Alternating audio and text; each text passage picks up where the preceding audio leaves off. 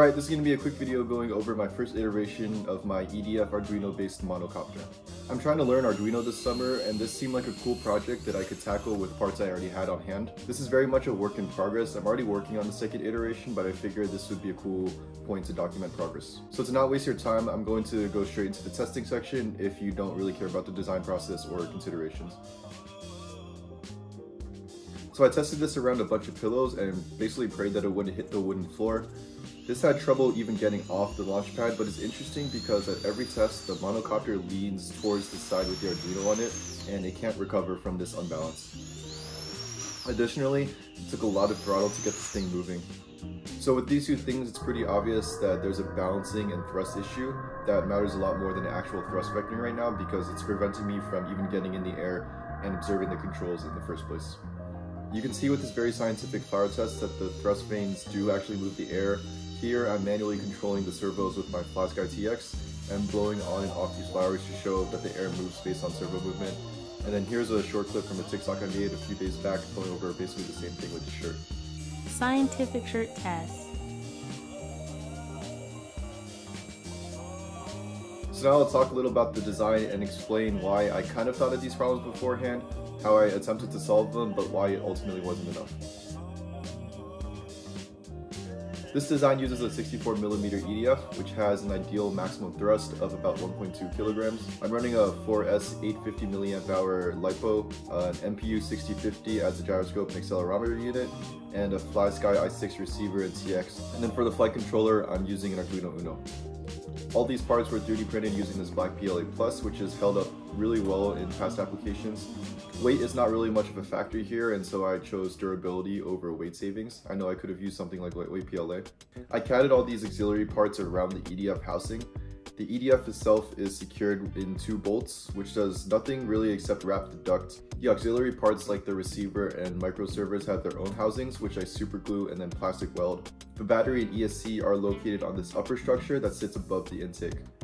Structurally, I'm very happy with this design. The 3D pen and super glue combo continues to be very reliable. So I'm using four microservos to individually control the thrust vanes. From a control and weight perspective, this is obviously less favorable, but it's mechanically much simpler.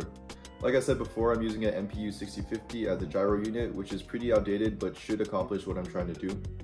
The wiring for all these components were a mess, but I was able to clean it up a good amount.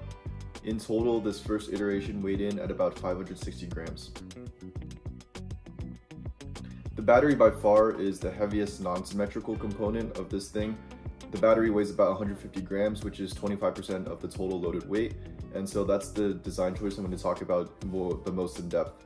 So I elected to put it on top of the EDF. The pros of this configuration is that it has easy balancing and is statically stable in flight. The biggest con is, I'm guessing, a very heavy reduction in thrust because it blocks the EDF intake. So with this relatively light design, I figured I could take some losses in thrust, which might be a mistake as you saw in testing.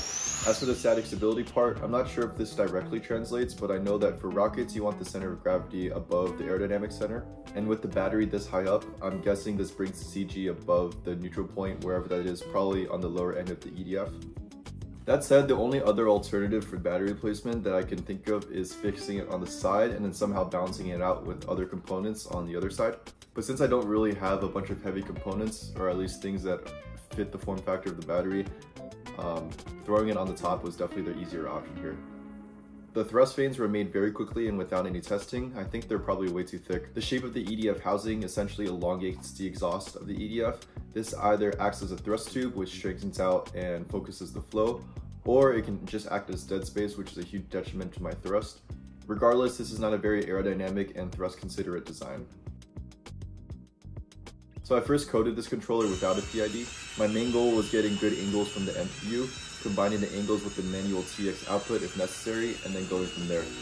I was successfully able to read the iBus inputs from the TX, use a complementary filter to get good body angles from the MPU, and loosely combine these to map values to each servo.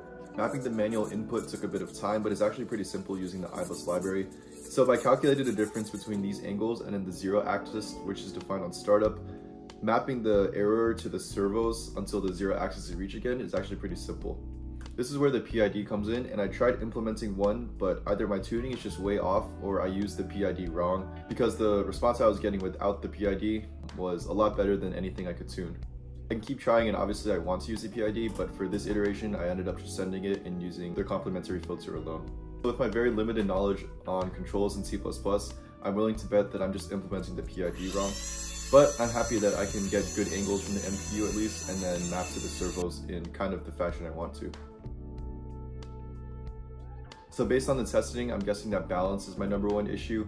I figured that once I had balanced the battery, which is again the heaviest component by far, the unit would be fine. However, it's very clearly weighted on the Arduino side for some reason, and so I think the smaller components probably play a bigger role in the balance than I thought. And regardless of balance, I expected the monocopter to have better throttle command than it did. I used about 80% of the throttle to even get off the ground, and it's clear that I need to kind of redesign the EDF intake, the exhaust, and the thrust vanes if I want to optimize the amount of power that I'm getting. Lightweight PLA is an option, but I catted this pretty loosely and I'm willing to bet I can shave off a good amount of weight just by redesigning it. In general, I think I underestimated how much the battery tower affects the performance of the EDF. It could also be suffering from ground effects. The EDF is only a few inches off the ground. This can be easily remedied with higher stands or something, but I'll figure that out. Anyway, this is pretty much all I wanted to say in this overview. Um, this is really giving me a cool look into a bunch of controls and propulsion issues, and I encourage you to kind of try it on your own, again, if you have a bunch of spare parts lying around like me.